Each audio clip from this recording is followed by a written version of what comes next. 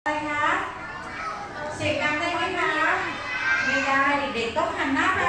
ตรงเวทีเลยนะคะโอ้ยมีหลายห้องเลยค่ะยังหันหน้าไปทางอื่นอยู่เลยอ่า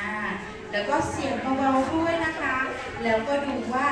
น้องเต้นเพลงอะไรเดี๋ยวคุณจะคุณตาจะถามนะคะอ่าพร้อมหรือยังอ่าน้องต้นประดูพร้อมหรือยังคะอ่าแป๊บหนึ่งนะคะ อะ ปิดหูซ้ายขวา ปิดตาสองข้าง ปิดปากเสียบ้าง